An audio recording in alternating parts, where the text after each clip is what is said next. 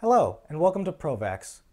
Before diving into the exciting and interesting world of vaccines, I figured it would be a good idea to start off the channel with a mini series in which I go over the main classes or types of vaccines.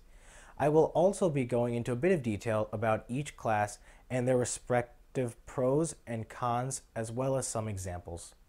The five main classes of vaccines include live attenuated, inactivated, aka dead, subunit, toxoid, and conjugated.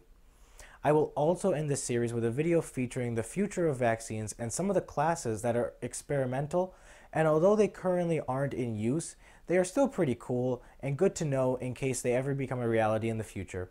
With that being said, let's jump into our first class, live attenuated.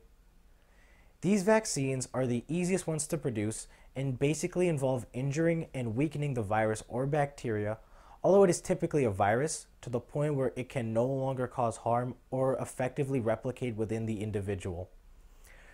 The method to which they are weakened usually is from one of two ways. The first method is by serially growing the virus in an environment that is not like that of a human's. A common example would be growing the virus in a chicken egg 40 to 50 times so that the virus becomes used to the chicken egg proteins and no longer can bind to the human proteins as well or even at all. See, this method works because viruses are sneaky and have evolved over time. That way they can mutate on the fly to adapt to their environment.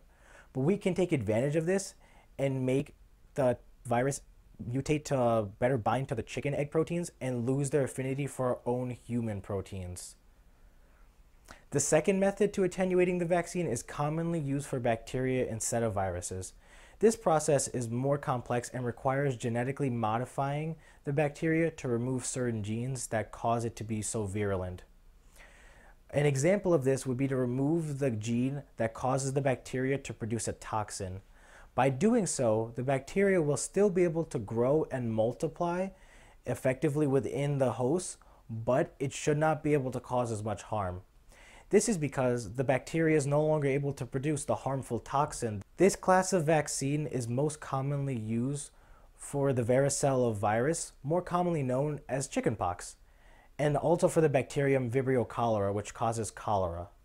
The pros to this type of vaccine are that it elicits the most natural immune response and that this type of vaccine is also the most likely to produce an immune response that will provide protection against the intended virus. The cons to this vaccine do unfortunately outweigh the positives. First of all, storage is the biggest issue. These vaccines typically require refrigeration or even freezing, which makes it difficult to distribute to more impoverished regions that might require the vaccine.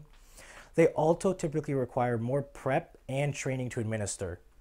Also, there is technically the remote possibility that the virus can remutate back to the harmful strain and cause infection within the host. This, however, is highly unlikely, but this is also the reason why these vaccines cannot be given to anyone who is immunocompromised, such as anyone with cancers, HIV, or transplants. This is because in their already weakened immune system, the virus has a much higher chance to mutate.